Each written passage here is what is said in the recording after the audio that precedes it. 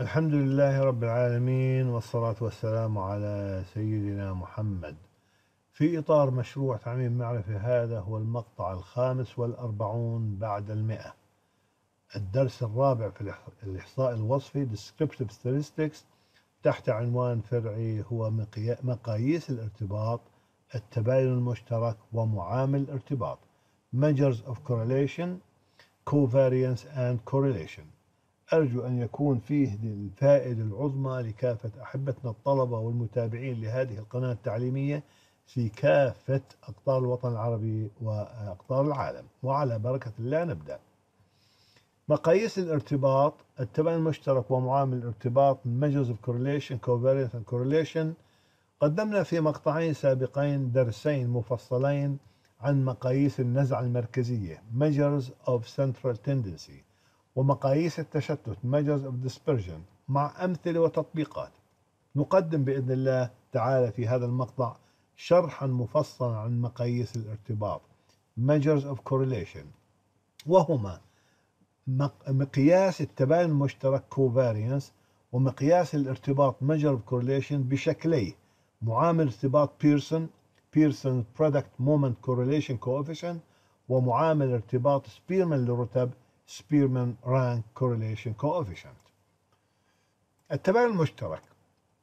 يعرف التباين المشترك بين المتغيرين الحقيقيين x و y بأنه التغاير variation الآني الذي يطرأ على المتغيرين صعودا أو هبوطا ويأخذ الصيغة الرياضياتية الآتية. الكوفاريانس اللي هو التباين المشترك بين x و y يساوي حاصل قسمة قيمتين. القيمة الأولى التي أتت في البسط هي الفرق بين مشاهدات X الفرق بينها وبين متوسطها الحسابي مضروبا بين الفرق بين مشاهدات آه، Y مطروح منها آه، الوسط الحسابي ل Y.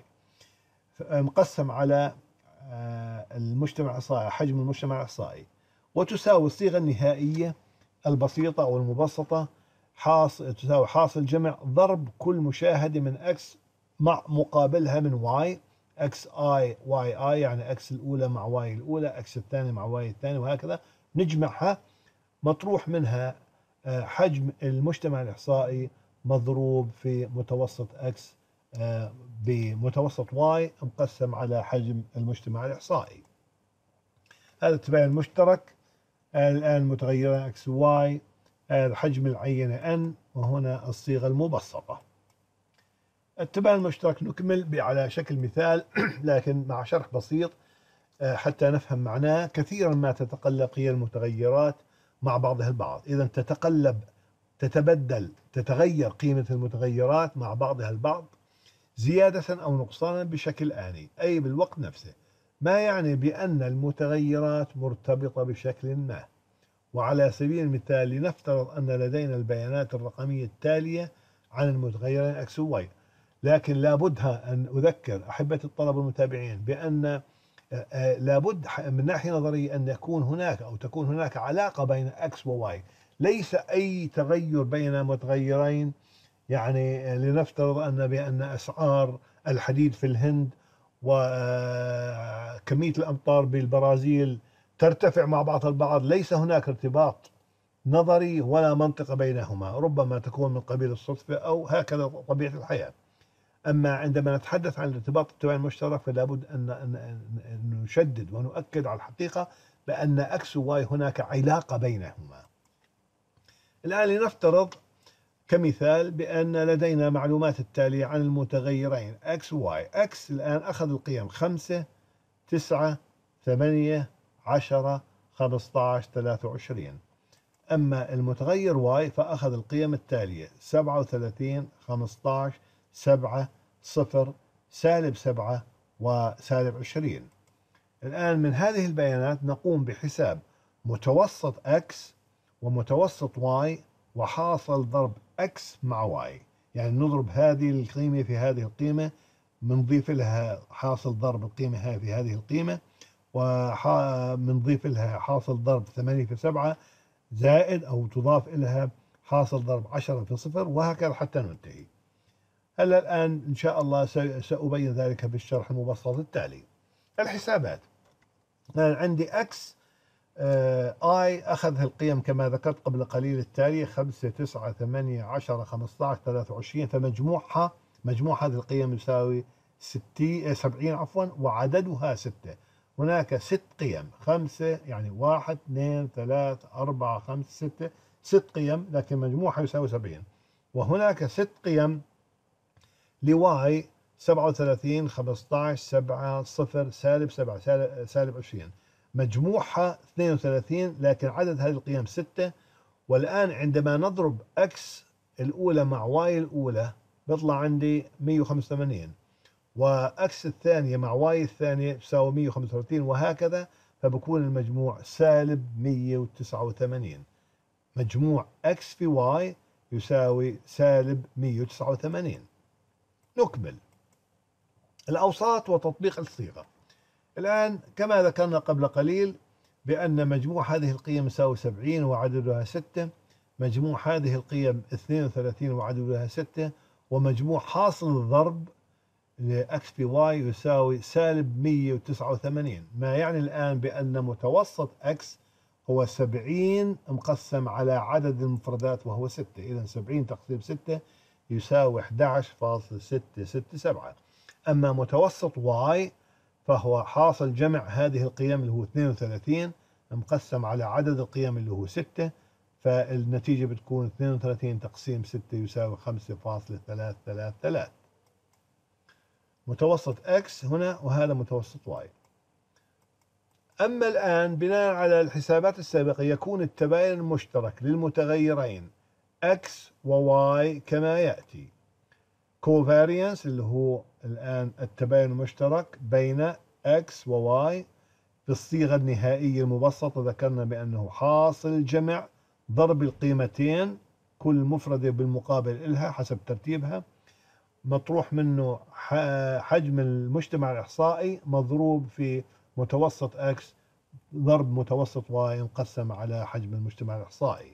وبالتالي بتكون النتيجة النهائية للتباين المشترك قيمة التباين المشترك يساوي سالب 189 سالب 6 مضروب في X bar اللي 11.667 مضروب في Y bar اللي هو متوسط Y 5.333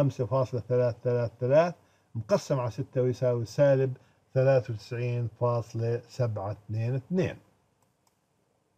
هذا هذه قيمة التباين المشترك المحسوبة. صفات التباين المشترك. صفات التباين المشترك مهم جدا. أولا إذا كانت A و B ثابتتين فإن الكوفارينس أو التباين المشترك ل AX مضروب عفوا A مضروبة في X طبعا AX مع BY تباين مشترك بين هاتين الكميتين. A مضروبة في X والكمية الثانية B مضروبة في Y تساوي AB مضروبة في ال covariance X و Y. covariance أو التباين المشترك بين X و Y. مثال إذا كانت A تساوي 5 B تساوي 8 فإن التباين المشترك بين AX و BY تساوي 40 5 ضرب 8 يساوي 40 مضروب بال covariance أو التباين المشترك بين X و Y ثانيا إذا كانت A ثابت و X متغير فإن ال covariance بين المتغير والثابت يساوي صفرا. مثال إذا كانت A تساوي صفرا عفوا خمسة. إذا كانت A تساوي خمسة فإن ال covariance بين X وخمسة تساوي صفرا. ثالثا التباين المشترك بين المتغيرين X ونفسه يعطي تباين المتغير أي أن ال covariance بين X و X يعني التباين المشترك بين X ثم X نفسها يساوي تباين X تباين X أو ال variance of X. رابعا وأخيرا إذا كانت A و B ثابتتين فإن ال covariance التباين المشترك بين A زائد X من جهة مع B زائد Y من جهة أخرى يساوي ال covariance أو التباين المشترك بين المتغيرين فقط. X و Y لأن التباين هنا صفر وهنا صفر. لأنهما ثابتتان. الآن ندخل في موضوع من مقاييس الارتباط معامل ارتباط بيرسون. معامل ارتباط بيرسون حتى نبرر المقصود يعني لماذا تم اكتشاف أو خلينا نقول لماذا تم تصميم مثل هذا المعامل لأن السبب يعود إلى هذه الملاحظة. عند النظر إلى طريقة حساب التباين المشترك بين متغيرين ونتيجة الحساب نجد أن قيمة التباين المشترك التباين المشترك قيمته باعتباره مؤشر للعلاقة بين المتغيرين هذه القيمة غير محددة unbounded أي أن قيمة التباين المشترك قد تأخذ أي قيمة على خط الأعداد. بالسالب بالموجب ما لا نهاية أو أقل أو سالب ما لا نهاية أو أكثر.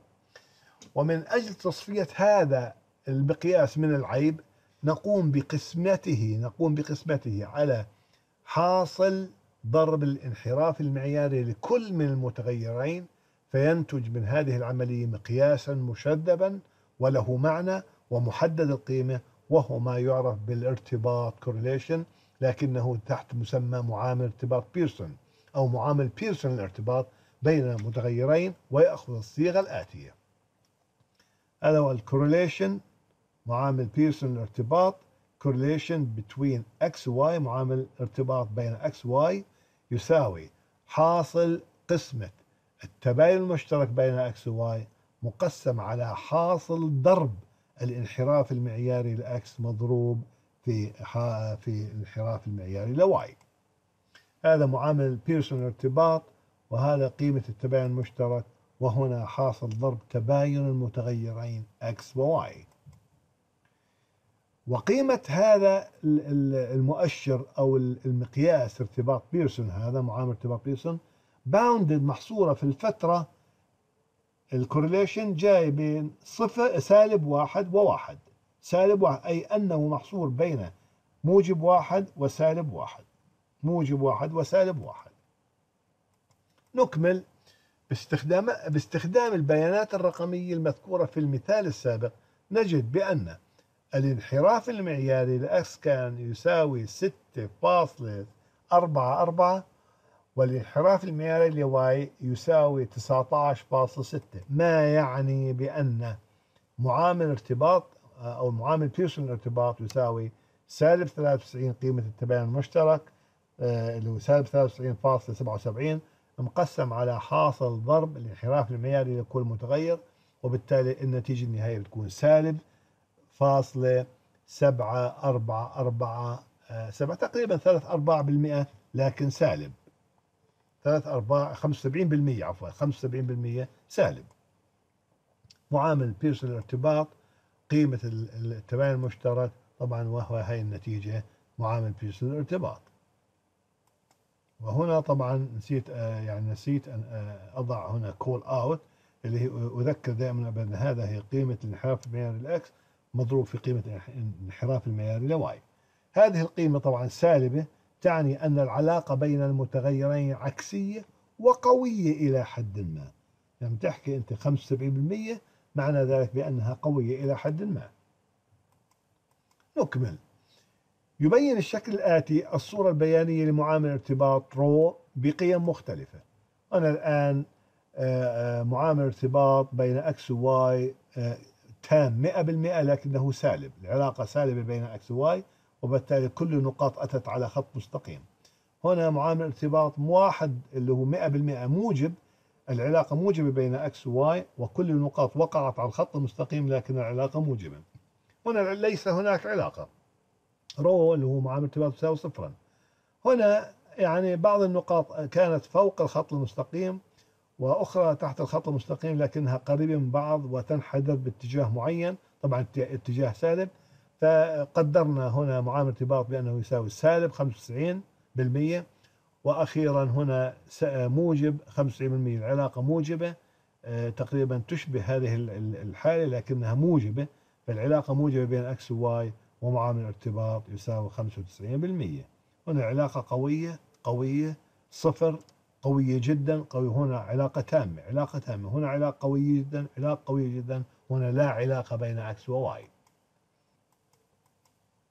يوضح الشكل الآتي القاعدة العامة عن قوة العلاقة بين أي متغيرين مقاسة بقيمة معامل ارتباط الآن آه، هكذا آه، يصنف الإحصائيون والاقتصاديون القياسيون العلاقة بين أي متغيرين آه، من خلال مقياس الارتباط إذا كانت قيمته سالب واحد فالعلاقة قوية جدا عفوا بين الصفر بين السبعين بالمئة إلى أقل من واحد صحيح. بتكون قوية قوية جدا وهكذا هنا علاقة متوسطة بين الثلاثين بالمئة سالب إلى السبعين بالمئة هنا إما بتكون لا علاقة أبدا أو بتكون ضعيفة جدا في هذا المجال هنا وهذا المجال اليمين واليسار. آه، هنا العلاقة متوسطة بين 30% و70% موجب والعلاقة قوية جدا فوق السبعين لكنه علاقة تامة موجبة إذا وصلت لواحد صحيح. وعلاقة تامة سالبة إذا وصلت للواحد صحيح السالب. معامل سبيرمان لارتباط الرتبة. الآن معامل ارتباط سبيرمان للرتبة Spearman correlation هو مقياس غير معلمي. نون بارامترك المقصود فيها لا يحتاج إلى معلمات لا يحتاج إلى آه، مثل انحراف معياري أو متوسطات. المقصود بالمعلمات أنه لا يحتاج لا لمتوسط لا يحتاج إلى متوسط X و Y على سبيل المثال ولا للانحراف المعياري لأي متغير. يقيس قوة العلاقة بين متغيرين. فيبين الشكل ألف هنا انتشار الأزواج المرتبة. هذا الشكل ألف على المستوى الديكارتي بالشكل الموجب. لاحظوا لي الآن هذه X وهي Y وهذه القيم المنتشرة تحت الخط هذا المتخيل وفوقه. وطبعا هنا قدر معامل ارتباط سبيرمان بأنه يساوي 91% في حين أن الشكل ب يبين انتشار الأزواج المرتبة على المستوى الديكارتي بالشكل السالب المضطرد حيث بلغت قيمة سبيرمان لارتباط الرتبة سالب 91% فإذا ارتفع أحد المتغيرين وانخفض الثاني فإن معامل ارتباط الرتبة يكون سالبا. وإذا ارتفع المتغيران معا فإن معامل الارتباط يكون موجبا. كيف نحسب الآن؟ تكتب الصيغة الرياضية أو الرياضياتية التطبيقية لمعامل سبيرمان لارتباط الرتبة كما يأتي. R معامل سبيرمان لارتباط الرتبة سبيرمان rank correlation يساوي واحد صحيح مطروح من الآن هذا الكسر. في. في البسط ستة هذا الرقم ستة ليس سحريا. بالمستقبل إن شاء الله سأشرحه لأنه ليس هناك وقت لشرحه. ستة مضروب في دي آي تربية حيث دي الفرق بين الرتب والتي إن شاء الله سأوضحها بعد قليل بمثالين آه، بسيطين جدا جدا. فإذا دي آي تربيع هو مربع الفرق بين الرتب مقسم الآن في المقام جاي. عدد المفردات مضروب في قوس مربع المفردات مطروح منها واحد صحيح الآن هذا معامل سبير من ارتباط الرتب. وهذا مربع الفروقات بين الرتب التي سأوضحها كما ذكرت بعد قليل بإذن الله تعالى. هذا حجم العينة طبعا. نكمل الآن. كيف نستعمل الصيغة R تساوي واحد سالب الكسر ستة في مجموع مربعات الفروقات مقسم على حجم البوبوليشن أو المجتمع الإحصائي مضروب في بالقوس طبعا مربع المجتمع الإحصائي مطروح منه واحد صحيح. أولا نستعرض البيانات. هنا أرجو التركيز من قبل أحبة الطلبة المتابعين نستعرض البيانات كما وردت كما وردت. وعلى سبيل المثال لو أن لدينا المتغيران x تساوي خمسة اثنين سبعة أربعة. لو قرأت هنا أربعة سبعة اثنين خمسة ليس هناك فرق. شريطة إذا قرأناها من اليسار اليمين فيجب عليك أن تقرأ هنا من اليسار اليمين. وإذا قرأناها هنا من اليمين إلى اليسار فيجب علينا أن نقرأ هنا من اليمين إلى اليسار. فلو كان لدينا متغيران x تساوي 5 2 7 4 أما y فكانت مشاهداتها 3 2 9 0 نقوم بإعطاء ترتيب أو رتبة rank الرتبة أو الترتيب rank okay لكل مشاهد من البيانات من الأصغر إلى الأكبر أو العكس كما يأتي. مثلا نعطي المشاهدات من المتغير X الترتيب أو الرتب الآتية. المشاهدة واحد خمسة هاي شو ترتيبها لو تصاعديا أو تنازليا؟ لنفرض أنها تصاعديا. الآن هذه أقل قيمة فتأخذ الرقم واحد. القيمة التي تليها أربعة فتأخذ رقم اثنين. إذا هذه ثلاثة وهذه أربعة.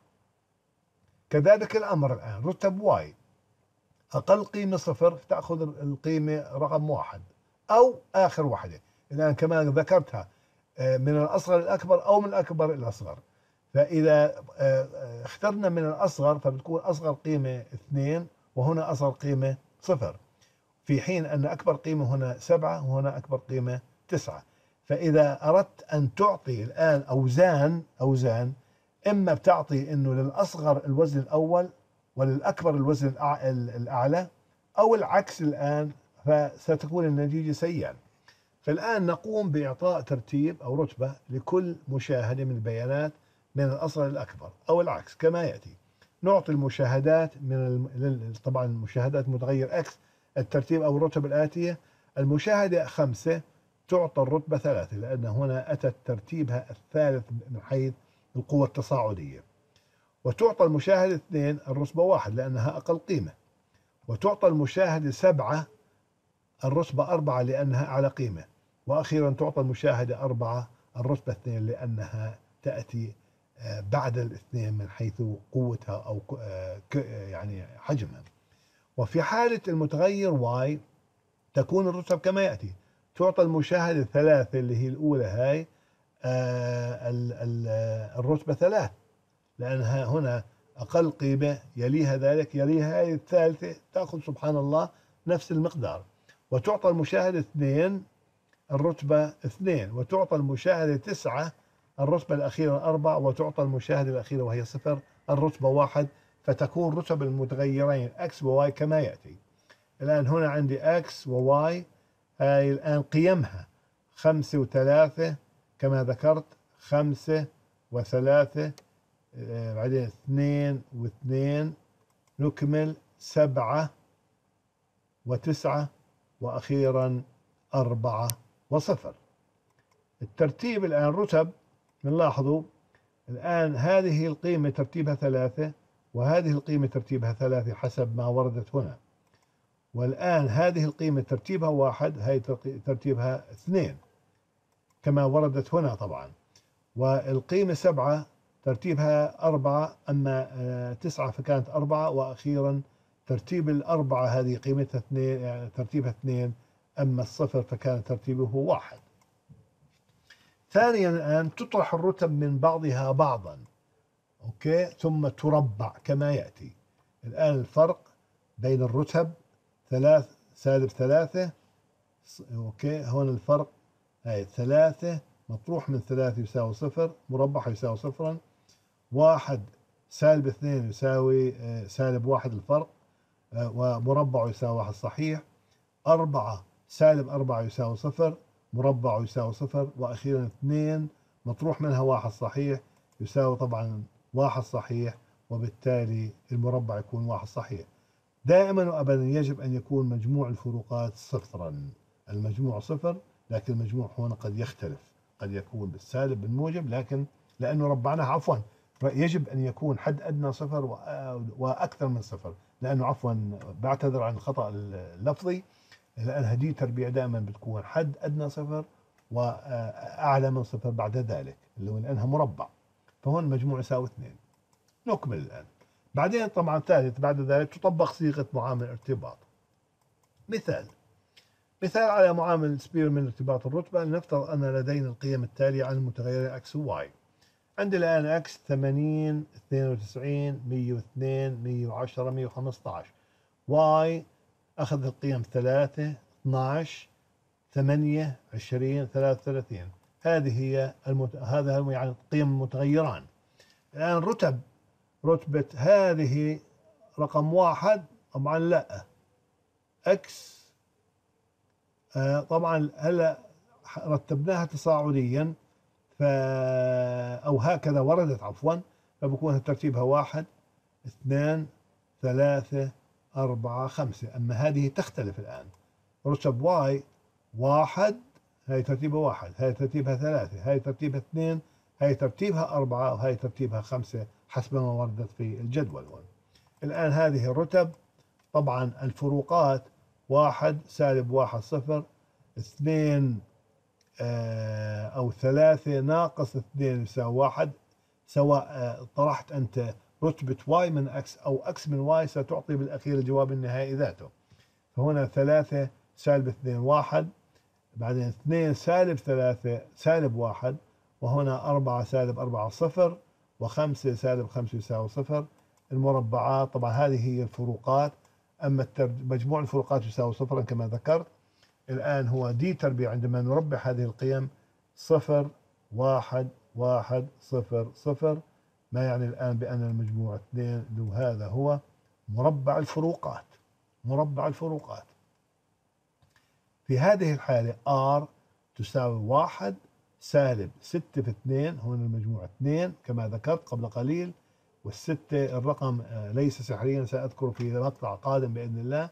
مقسم على حجم المجتمع الإحصائي آه، خمسة مضروب في القوس خمسة تربيع ناقص واحد ويساوي 90% إذا قوة الارتباط بين X و Y حسب معيار معامل سبيرمان لارتباط الرتبة هو 90% هذا آه، المعيار كثير يستخدم في بيان الرأي رأي الناس عن رأيهم بشيء معين. وإذا أخذت عينة عشوائية. مثلا من شخصين سألتهم ما رأيك بالمجال الفلاني بالموضوع الفلاني بالحالة الفلانية بالحالة الاقتصادية؟ وسألت كل واحد منهم أن يعطيك رتبة يعني أو علامة بين الصفر والمئة. فإذا سألت مثلا عشرة معناته عندك بكون أن تساوي عشرة. إذا سألت خمسين بكون عندي أن يساوي خمسين في هذه الحالة. وتستطيع استخدام هذا المعيار أو هذا المقياس حتى تحسب معامل سبيرمان لارتباط الرتبة.